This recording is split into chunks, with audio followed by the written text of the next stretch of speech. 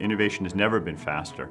Um, and in fact, if you look at the underlying statistics, productivity growth is doing pretty well. Productivity levels are at an all-time high, and in the 2000s, productivity growth was faster than it was in the 1990s, which was a great decade. On the other hand, you have the median worker doing worse. worse.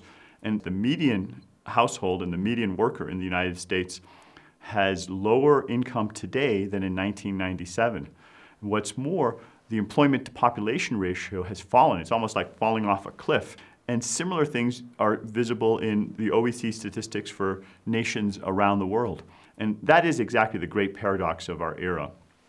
Now, the way that, that we came about to resolve that is to make a, a, a key observation, and that is that there is no economic law that says that technological progress needs to benefit everybody, or even that it needs to benefit a majority of people. It's entirely possible for technology to advance, make the pie bigger, and yet for some people to get a smaller share of that pie. And in essence, that's what's been happening, um, especially the past 10 or 15 years. Historically, productivity and employment and median income have all grown together. And I recently wrote an article called The Great Decoupling, where you see how these trends map each other all through the, the 20th century, and then they start separating um, in the late 1990s in particular. So from the, that data, it does appear that we're in a new era um, in that um, these technologies are behaving differently.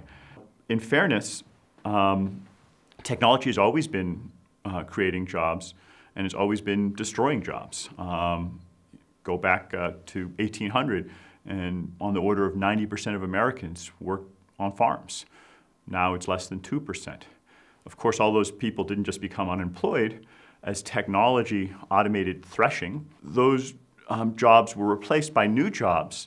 Um, Henry Ford helped create the auto industry. Uh, Steve Jobs and Bill Gates and many others helped create the computer industry.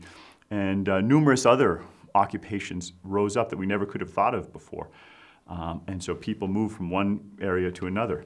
You'd like to see that happening again now, um, but the data show that it, it, just isn't happening as fast. We're having the automation, the job destruction.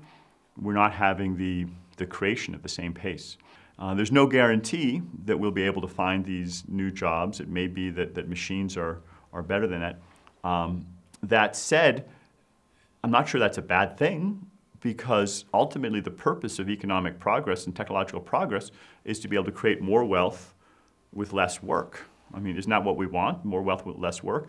So if we are in a, a Star Trek economy where, where replicators create all the essentials that we need, that doesn't have to be a bad thing if we can have an economic system that matches to it and finds a way that, that people can share in that benefit and people can still continue to find meaning and, and value in life.